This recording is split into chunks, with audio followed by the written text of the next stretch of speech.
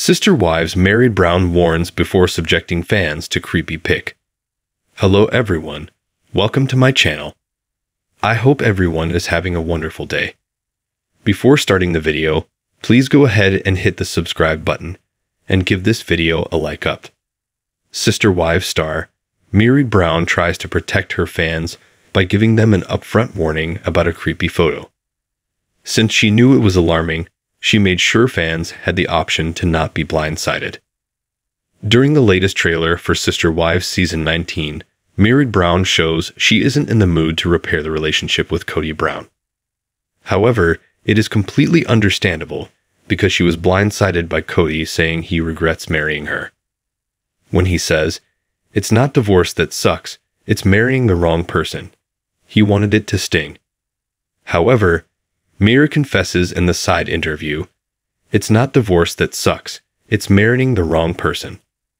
Since Meri doesn't like being taken off guard, she gives her fans a heads up before showing a disturbing photo.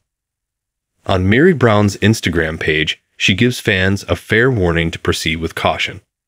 Since she knew what was ahead was very creepy, she didn't want anyone going in blind.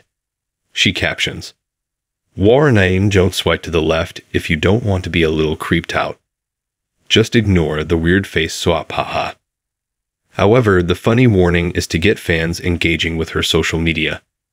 Furthermore, she adds, These two photos here perfectly exemplify the relationship I have with this guy.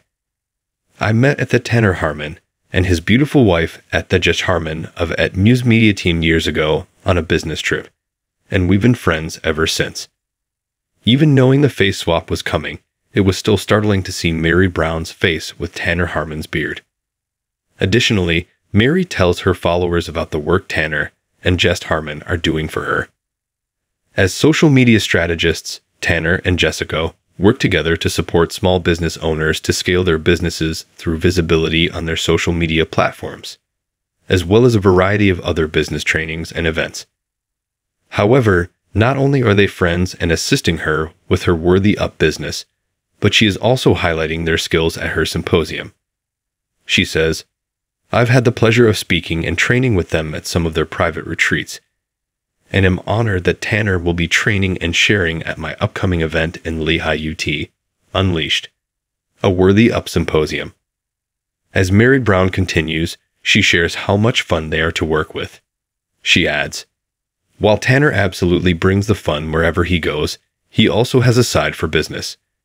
He'll definitely be adding an element of fun and laughter when he shares his wisdom and some of his amazing journey at the Unleashed event next weekend. Likewise, she lets fans know about how to take part in her Worthy Up event. There's still space available, and just a couple more VIP spots too, in case you want to get up close and personal with us after the event. Follow the link in my bio to Worthy Up to get all the details and join in on the FUN hashtag Worthy Up hashtag Unleashed. People took Meri Brown's post with a great sense of humor. What do you think about Meri Brown's creepy post? Do you think the symposium looks like a fun event? Are you ready to see how Meri and Kody work through their divorce? Drop your comments below.